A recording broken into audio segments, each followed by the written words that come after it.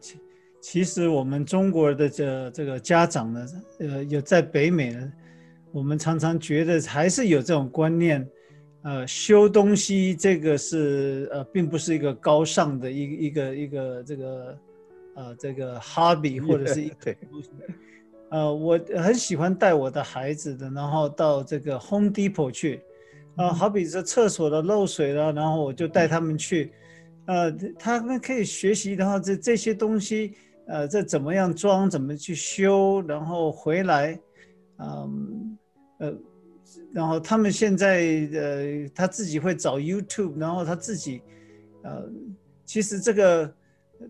到了青少年，他甚至在这个在五年级、六六六年级的时候，呃，这个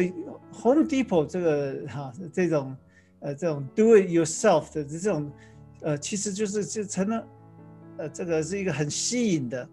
啊，我们也可以这鼓励孩子啊，然后呃你会不会去帮我修这个东西啊，让他成为一个 very handy 的 person。呃，我我不是说只是说这男孩子而已，女孩子，呃，我的女儿的这个甚至比我的儿子们更会修理的的东西，啊，他知道怎么样使用这个很基本的哈，钉子、锤子了，然后起子了，再等等，嗯，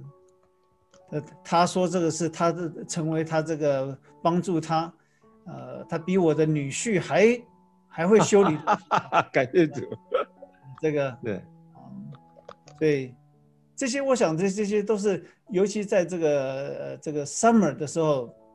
嗯是没有错。我我们现在都是在用这种上网，但是车子了怎么样这一个呃这个修理了怎么样的很基本的呃 maintenance，然后嗯打开来让我们的孩子知道啊，所以我就呃在你要学开车之前啊呃这这个是呃。你一定要的懂得这些东西啊，这些。